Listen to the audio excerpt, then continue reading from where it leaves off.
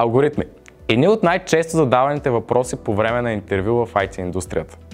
Аз съм Атанас Танасов и съм софтуерен инженер в Nexo и тренер с дългогодишен опит.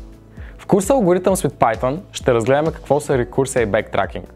След това ще се запознаем с сортиращите алгоритми и също така ще преминем през графи и алгоритми, които можем да приложим върху графи.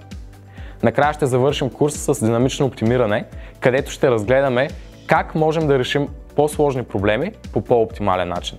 Обучението е подходящо за хора, които искат да надградят своите умения в света на програмирането и да бъдат готови за своето първо интервю. Запазете вашето място сега.